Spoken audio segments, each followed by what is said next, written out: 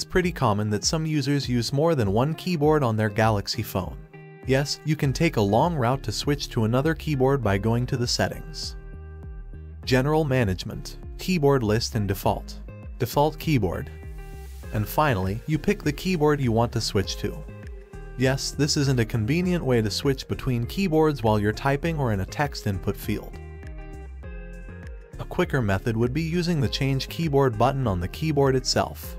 If your Galaxy phone has been updated to One UI 6.1, the location of the Change Keyboard button has been moved to a different location. To find it, you must first make sure the keyboard button on the navigation bar option is turned on. Then, you will find the Change Keyboard button in the lower left corner of the Samsung keyboard. It's the same location even if you use the button's navigation method. While typing or in an input field, you can now tap the Change Keyboard button and select the keyboard that you need. Yes, it's that simple.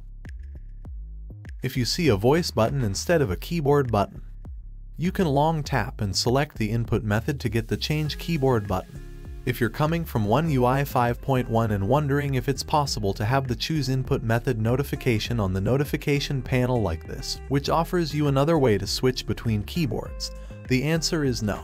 This feature has been removed since One UI 6.0. Alright, that's all for this video. Remember, whether you are using the buttons or swipe gestures navigation method, the Change Keyboard button is now in the lower left corner in One UI 6.1. Thanks for watching.